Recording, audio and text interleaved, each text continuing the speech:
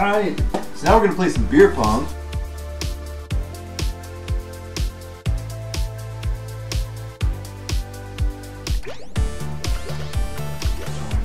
This is uh,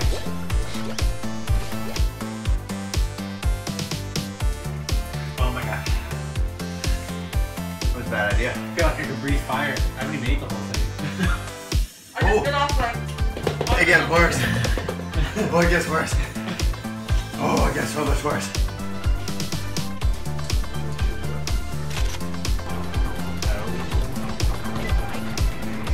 So Don's donated hundred dollars. Shawn is gonna eat ten sour candies in just a few minutes. And here he goes. Go ahead.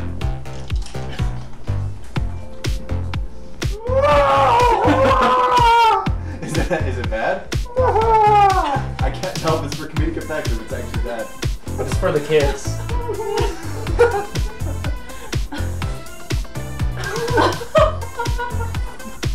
he just it out afterwards.